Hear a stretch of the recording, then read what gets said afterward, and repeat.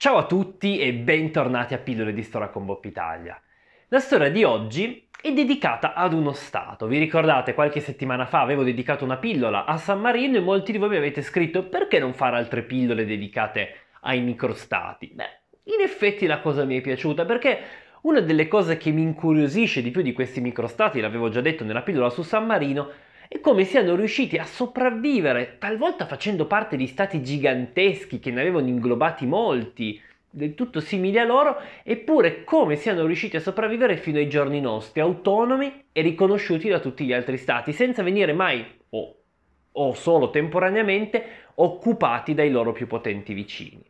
Ora, se per San Marino questo poteva essere quasi comprensibile con quella strana situazione ancora molto medievale che si trovava all'interno dello Stato della Chiesa, che sostanzialmente la trasportò fino all'età moderna, questo è molto meno comprensibile per lo Stato che andiamo ad analizzare oggi. Oggi parliamo della storia del Principato di Monaco. Immagino che tutti voi sappiate che il Principato di Monaco è un piccolo principato che attualmente si trova completamente inglobato all'interno della Francia, che controlla la Rocca di Monaco e la cittadina di Monte Carlo e che è molto ricco per il turismo, il casino e il fatto di far pagare poco le tasse, quindi di trovarsi molte società con una sede a Monte Carlo o a Monaco. Per capire come mai il Principato di Monaco sia sopravvissuto è a tutti gli effetti necessario ricordarsi due cose. La prima è che il Principato di Monaco non nacque da una costola della Francia, ma nacque bensì da una costola di una vicina repubblica, cioè la Repubblica di Genova. La seconda motivazione è che bisogna ricordarsi un'altra cosa, e che fino alla fine della seconda guerra d'indipendenza il Principato di Monaco non confinava solo con la Francia, ma bensì confinava anche con il Regno di Sardegna, il Regno di Piemonte e quindi con l'origine del futuro Regno d'Italia, cioè fino a quando, in cambio dell'aiuto francese nella seconda guerra d'indipendenza, la mm, Cavour e il re d'Italia Vittorio Emanuele II non accettarono di cedere Nizza e la Savoia ai francesi. Insomma, il Principato di Monaco non è sempre stato completamente inglobato nella Francia, ma lasciamo che vi racconti.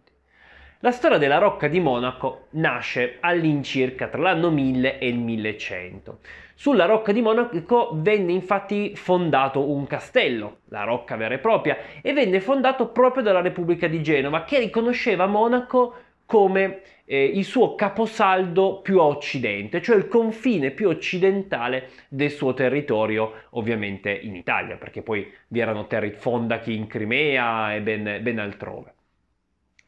Ebbene, la Repubblica di Genova, così come tutti i comuni, le signorie in Italia nell'epoca, viveva di grandi scontri, in particolare tra le famiglie nobili locali che erano divise tra i Guelfi e i Ghibellini.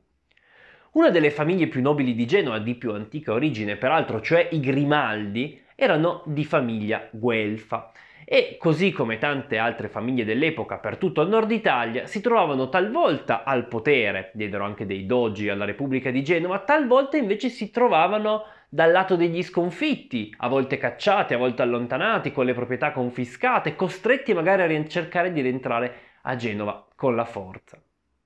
Perché vi racconto questo? Beh, perché proprio la famiglia Grimaldi dall'8 gennaio 1297 ha intessuto i rapporti con il Principato di Monaco, tanto che ancora oggi un Grimaldi, seppur solo di nome ma non realmente discendente da quella famiglia, governa ancora sul Principato.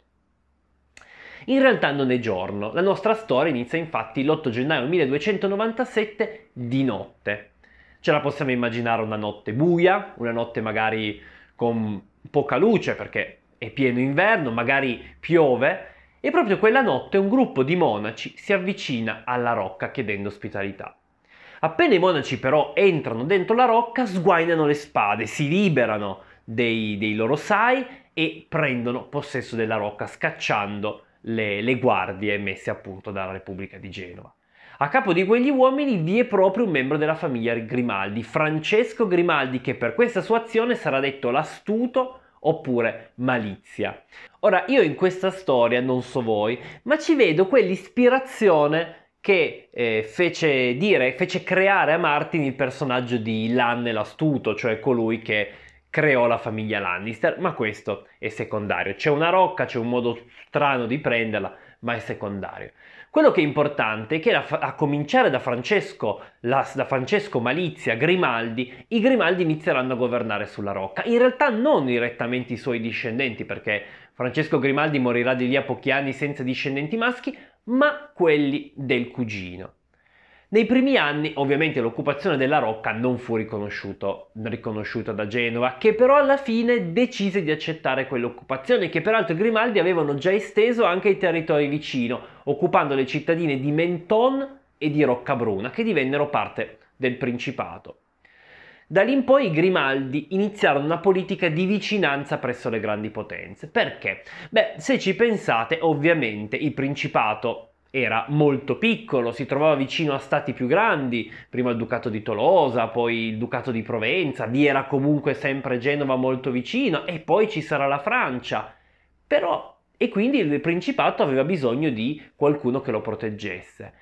Però questa protezione allo stesso tempo poteva dare qualcosa al protettore, perché ovviamente la Rocca di Monaco insisteva su un'ansa naturale, dove era possibile fermare le proprie navi, quindi chiunque proteggesse il Principato di Monaco nei fatti si assicurava un porto nella Francia meridionale.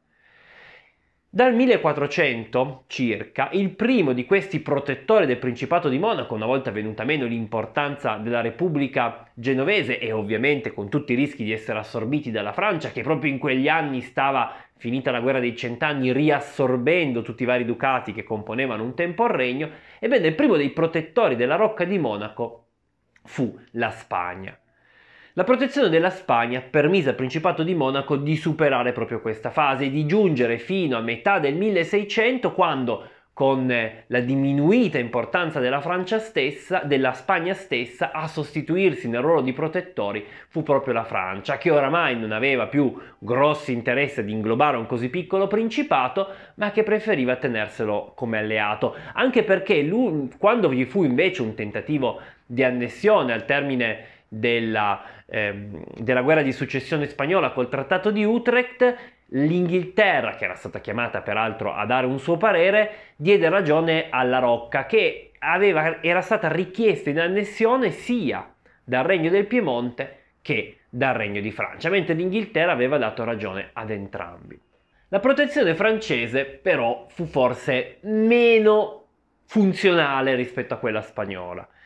Dopo la rivoluzione francese, infatti, le truppe della Francia repubblicana scacciarono i Grimaldi dalla Rocca, installarono un governo ovviamente repubblicano nel Principato che venne annesso alla, alla, Repubblica francese. I Grimaldi rimasero lontani fino alla restaurazione. Col Trattato di Vienna, infatti, il Principato, che peraltro, come detto, era già riconosciuto da altre grandi potenze come la Spagna e l'Inghilterra, venne ricreato nella sua autonomia. Autonomia che ricordo comprendeva anche delle altre città, non solo l'attuale Rocca di Monaco, ma anche appunto Menton e Roccabruna. Queste due città però non rimasero a lungo nel Principato. Nel 1848 infatti ci fu una rivolta in queste città che si crearono a città libera, d'altronde era il 48, e con un, un accordo chiesero l'annessione al, regno, al vicino Regno del Piemonte, che d'altronde era più ricco e gli dava più possibilità di sviluppo economico. Con la cessione poi delle terre dal, dal Regno del Piemonte a Napoleone III, quindi alla Francia, queste città passarono alla Francia e Napoleone III si limitò a versare un pagamento di 4 milioni di franchi al Principato di Monaco in cambio di quelle terre. Monaco e la famiglia Grimaldi si trovavano così nel loro momento peggiore. Avevano perso praticamente l'80% del territorio del Principato, non solo, ma avevano perso in realtà le terre più ricche. Quello che rimaneva loro era sì un'importante insenatura, ma con un piccolo porto, una rocca con un castello senza alcuna ricchezza. Insomma, sembrava che il Principato stesse lentamente spegnendosi. Invece nel corso dell'Ottocento il Principato di Monaco conobbe una nuova crescita. Questo perché si iniziò ad investire con l'arrivo della ferrovia molto fortemente sul turismo, ovviamente il turismo ricco, il turismo di chi già nell'Ottocento si spostava, cioè appunto i ricchi, costruendo peraltro il primo casino che venne costruito sulla Rocca e poi spostato nella cittadina di Monte Carlo, dal nome peraltro del principe che diede vita a questo rinascimento, Ebbene, iniziarono ad attirare i turisti e con i turisti arrivarono i soldi e lentamente il Principato di Monaco divenne una meta sempre più richiesta dal turismo ricco, ma anche sempre più ricca. Con la crescita di Monaco ovviamente arrivarono i problemi. Il primo grande problema si ebbe nel 1918-1919, quando ci fu una gravissima crisi dinastica. A quel tempo il principe di Monaco infatti non aveva eredi e sembrava che il trono dovesse andare a un principe tedesco, che era cugino imparentato con la famiglia Grimaldi, ma che a tutti gli effetti era un principe tedesco, eh, residente nel Württemberg, tenutario del castello di Liechtenstein, insomma un tedesco a tutti gli effetti che aveva addirittura combattuto nella prima guerra mondiale dal lato tedesco. E la cosa ovviamente non poteva piacere alla Francia, che anzi proprio in quell'anno fece una sostanziale presa di potere all'interno del Principato, obbligando il Principato a rivedere la propria legge di successione.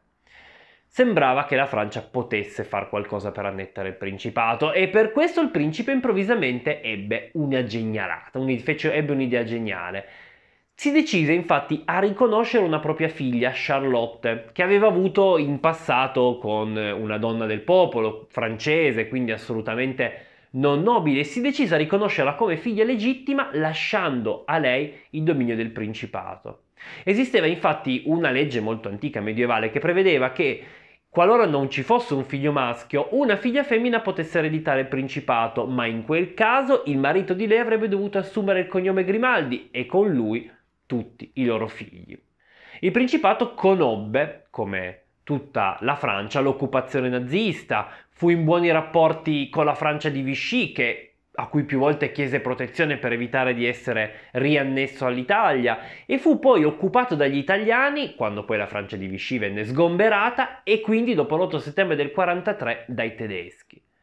Ma questo solo dal punto di vista politico, perché in realtà grossi rapporti con i tedeschi il principe ce li aveva già da prima della guerra e durante la guerra il principato divenne sostanzialmente la sede di moltissime aziende tedesche, di moltissimi complotti anche tedeschi che utilizzavano il principato, così come utilizzavano la Svizzera, come dei porti franchi con cui commerciare con gli stati con cui erano in guerra e con cui vi erano problemi, delle fonti di valuta fresca. Erano talmente intessuti i rapporti tra i due stati che addirittura quando alla fine della guerra vi furono dei sequestri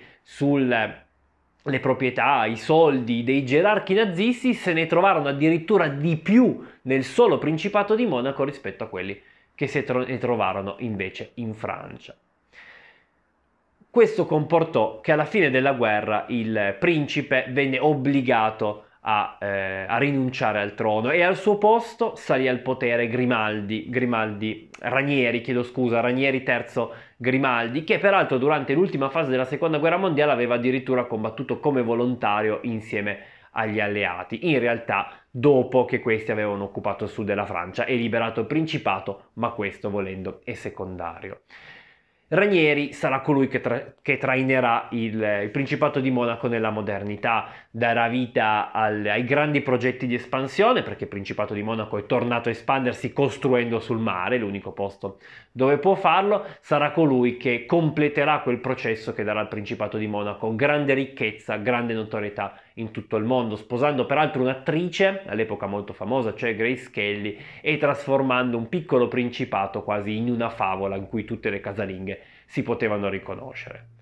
Insomma, un piccolo principato nato da una repubblica, sopravvissuto a una repubblica, quella francese, che in qualche modo è riuscito a sopravvivere quando tanti altri territori più grandi, come il Ducato di Provenza, furono assorbiti dalla Francia, sempre grazie alla capacità dei Grimaldi, nei vari rami che la governarono, di rimanere bilanciati tra tutte le potenze vicino. Una regola che dopo tutto vale per molti dei microstati di cui possiamo ancora vedere i resti nel mondo. Bene,